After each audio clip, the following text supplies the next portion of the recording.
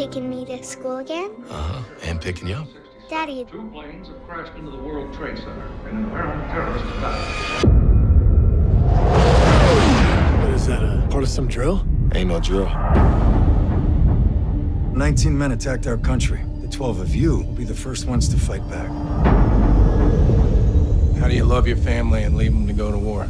I have two hours. I'll be really quick. Not a chance. Holding out is the only way I can guarantee you come back to me. War's gonna be only like a week. I don't care how long you're gone, as long as you come back.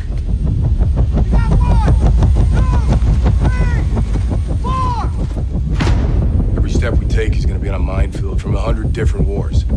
Odds are we're not all gonna make it out of this one. If we don't take that city, World Trade Center is just the beginning.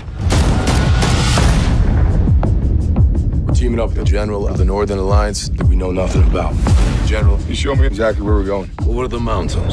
We take horses. All right, who's ridden before? Anyone? Summer camp when I was nine. Spring break, but I was pretty hammered. Does it have a name? The name. Great, this will be fun. We're outnumbered. 50,000 Taliban Al Qaeda fighters. We're on our own. I can't order anyone to do this.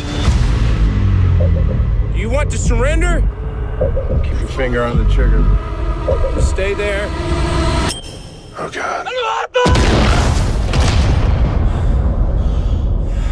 Well, I won't back down. There's no playbook here. We're gonna have to write it ourselves. No, I won't back down. I ain't losing one man on this team. You could stand me up at the gates of hell, but I won't back down. We're fighting with horsemen against tanks. Hey,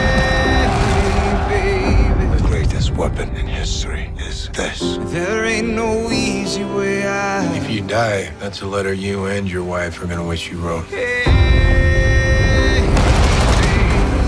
I made her a promise. I'm coming home.